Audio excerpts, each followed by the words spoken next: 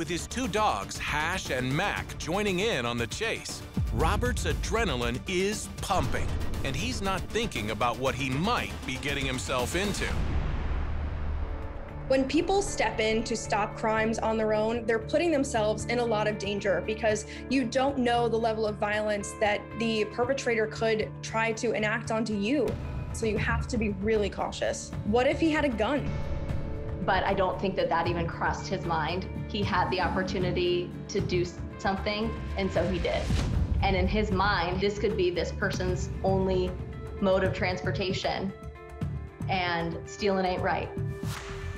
If it was my wife or any of my family, if they were the one having something stolen from them, I would appreciate if, if you know, somebody stepped in and helped them.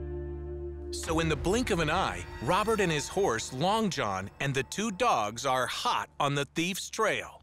He stood no chance, no way. You know, this horse would outrun a man on a bike or a foot 99% of the time.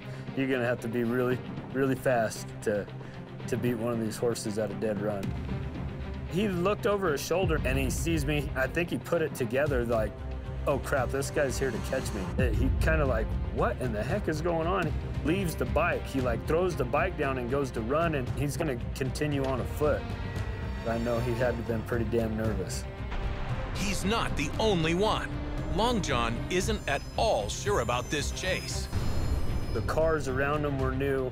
Everything was a complete shock to him. He was kind of spooked. First time he had been rode on blacktop, he kind of moves a little faster than I needed him to.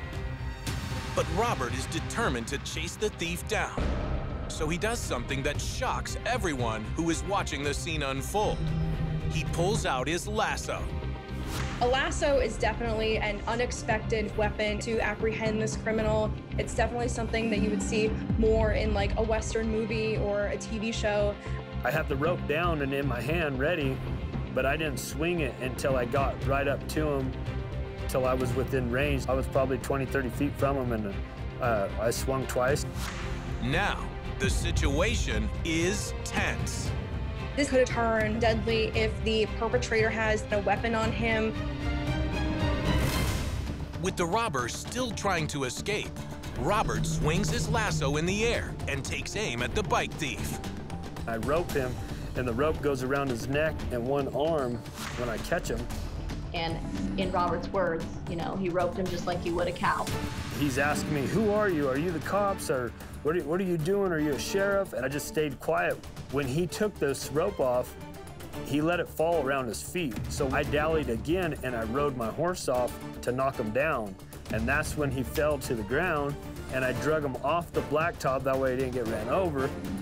And so when I drag him onto the concrete, he grabs a hold of the tree, and then I continue to hold him there until uh, I got on the phone and I called 911.